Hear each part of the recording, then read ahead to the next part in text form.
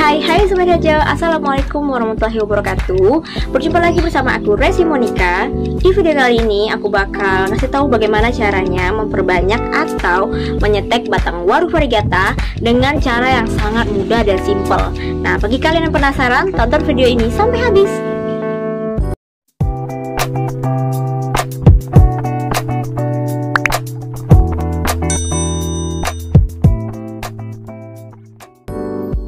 the way, Sobat Hejo, inilah penampakan uh, waru parigata di rumah aku.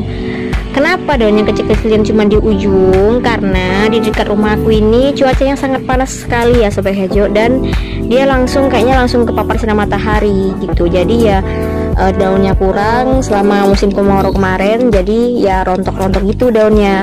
Oke, mari kita selamatkan batang waru varigata ini. Oke langsung aja. Kita langsung ke cara yang pertama. Kita cari dulu dahan waru varigata yang akan kita perbanyak. Nah langsung aja. Kalau misalnya udah dapat kayak gini aku mau dahan ini aja. Kita langsung aja nih potong menggunakan pisau di bagian dahannya ini. Nah berhubung di sini sudah ada uh, bakal kecil daunnya ini tuh bakal daunnya kita bakal uh, ngambilnya di bagian atas ini aja gitu. Langsung aja kita potong kayak gini bismillahirrahmanirrahim.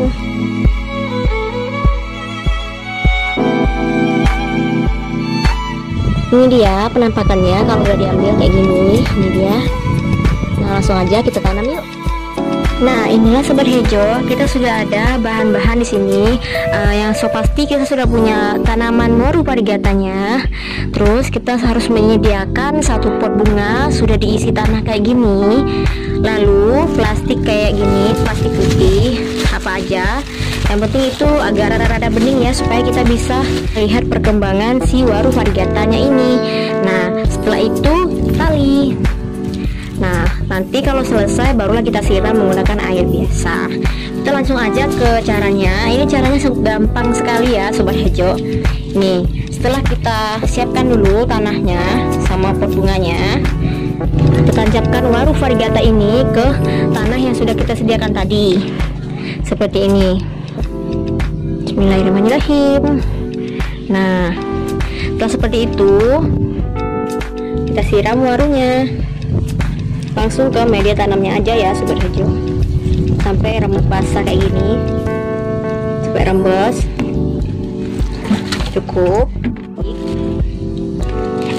Kenapa harus ada plastik bening kayak gini? Ini nanti fungsinya untuk kita sukupkan atau kita tutupkan ke uh, tanaman waru varigata ini fungsinya penyungkupan di sini adalah untuk mengurangi uh, penguapan pada tanaman hias kita supaya air di media tanam dan di tumbuhannya tuh nggak cepat untuk teruap gitu ya sobat hijau. Nah selain untuk menjaga penguapan di pada tanaman ini penyungkupan ini juga bisa untuk melindungi tanaman kita dari pertama hama terus kedua nanti dari ulat-ulat ataupun ya yang lain-lain. Jadi kita pakai proses penyukupan menjelang akar si tanaman ini tumbuh gitu ya atau ada. Langsung aja proses kita tutup kayak gini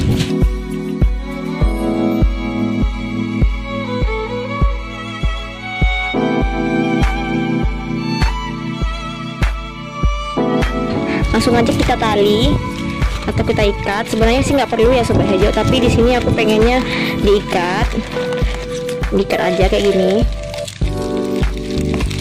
Kalau misalnya udah sekiranya udah kuat di bawah sini itu nggak usah diikat lagi ya. Ini karena ini kurang kuat makanya aku ikat dulu kayak gini. Nah udah kayak gini. Untuk mengecek uh, tanaman ini atau proses e, nyiramnya nanti itu cukup siramnya sekali sehari aja. Itu pun kita lihat dulu media tanamnya itu kering atau enggak. Kalau sekiranya kering itu perlu kita buka terus kita siram lalu kita sungkup lagi kayak gini ya. Jadi begitulah cara penyetekan atau memperbanyak batang waru parigata yang gampang di Hejo. Oh iya, untuk penempatan ini uh, usahakan jangan di bawah sinar matahari langsung, tapi dia harus harus mendapatkan asupan sinar matahari. Minimal sinar ya, bukan langsung di bawah terik mataharinya gitu ya Sobat Hejo. Lalu uh, usahakan dia nggak ke diterpa angin terlalu banyak dan juga nggak disenggol-senggol karena ini kan tumbuh akar menjelang tumbuh akar kita uh, letakkan si waru parigata ini di tempat yang aman dari kayak angin dan kena senggol kayak itu oke? Okay? ini nanti aku taruh aja di teras rumah aku supaya tetap dapat sinar matahari dan kurang diterpa-terpa angin. Oke itu tadi caranya. Bagaimana? Gampang banget kan Sobat Hejo untuk ditiru di rumah. Nah bagi kalian yang sudah nonton video ini jangan lupa kalian tinggalkan jejak di kolom komentar. Dan semoga bermanfaat. Sampai jumpa di video selanjutnya. Assalamualaikum warahmatullahi wabarakatuh